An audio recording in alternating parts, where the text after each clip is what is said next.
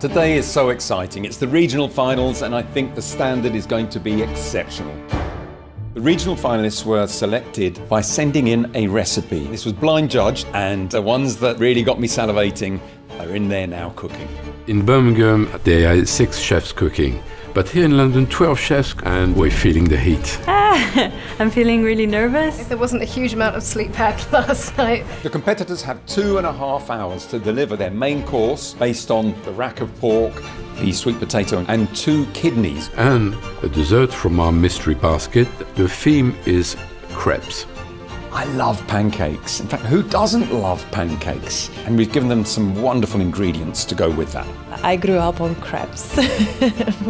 We're looking for sort of an all-rounder. Someone who has that classical element in their cooking. Someone that's composed, works in a clean, efficient manner. A chunk of pork and roast potatoes and cabbage would suit me fine, but I suspect we'll get more than that. If I get a bit carried away on the dessert, I'll go down. We're divorcing, yeah? There's a, a, sort of a whole range of, of, backgrounds from all the chefs. It's the fourth time for one of our competitors, so we're going to see lots and lots of different styles coming through. Roux Scholar not only has to deliver superb food, but they also have to be a mentor in the making and have that character and spirit that is so important. So, not in order, but going through the final, Jordan Anderson.